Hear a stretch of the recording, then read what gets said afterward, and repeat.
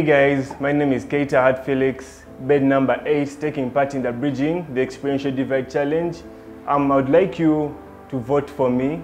I'm the best candidate for this position. And yeah, definitely it will be vibes, vibes and sports. Just vote for me.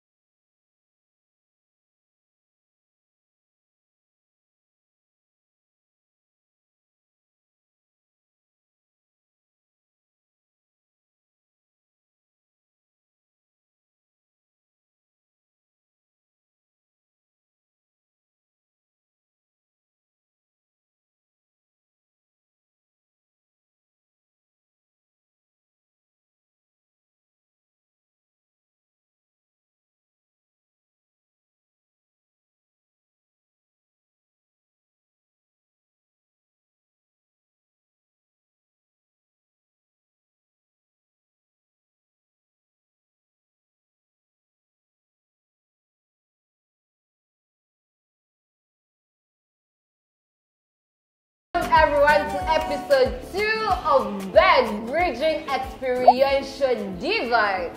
So when I talk about bed, it is really constituting of very many things. I'm talking about skilling, training, opportunities, experience. We are here to bridge the experiential gap between you and the jobs out there. So let me give you a brief recap of what happened last week. Last week we had the HTC dancers and our current Ninja Countdown had the, the top 5 HTC dance videos being given to us by them. So we hosted Dietrich, um, DVD King. These guys really do a lot when it comes to dance and everything. So we also had a movie. Hope you guys caught up with the movie. It was really something beautiful, something, oh my god, something hot.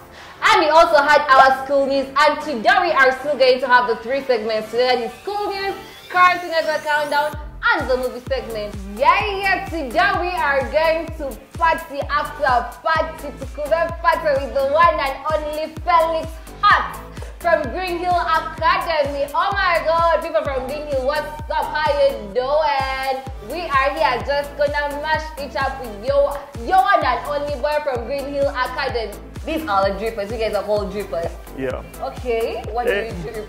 Yes, we're just drippers, man. You know Green Hill. Vibes and vibes. Just that.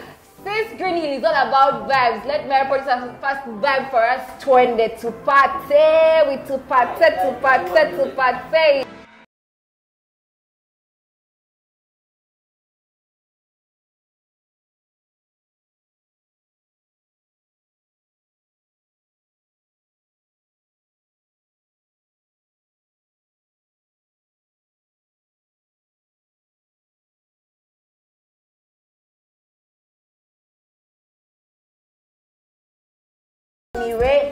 Tunyumire fe tugenda kunyumira wanene with Green Hill Sure, sure, Academy. So what's up, Felix? No, no, no. What's How up? you What's doing? up? I'm good. I'm How good. is COVID treating you? COVID is there, just vibing.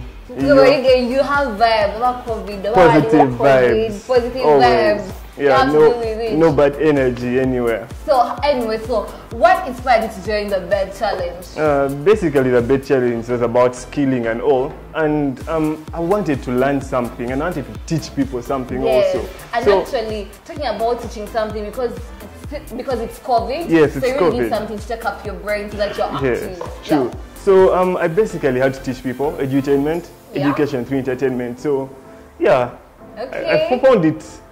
I found the need to be part of the bed challenge. Definitely, I learned something and I educate everybody.